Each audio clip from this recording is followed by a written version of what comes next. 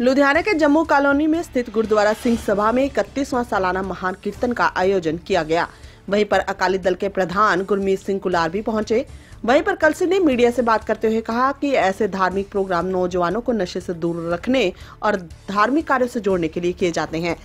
ਕੀਤਾ ਜਿੱਥੇ ਮੈਂ ਇਸ ਗੁਰਦੁਆਰਾ ਸਾਹਿਬ ਦੇ ਪ੍ਰਧਾਨ ਚਰਨ ਸਿੰਘ ਨੂੰ ਔਰ ਉਹਨਾਂ ਦੀ ਟੀਮ ਨੂੰ ਮੁਬਾਰਕਬਾਦ ਦਿੰਦਾ ਵਾ। ਉੱਥੇ ਮੇਰੇ ਵੀਰ ਅਮਰਜੀਤ ਕਲਸੀ ਜੀ, ਜਿਹੜੇ ਕਿ ਇਸ ਗੁਰਮਤਿ ਸਮਾਗਮ ਦੇ ਵਿੱਚ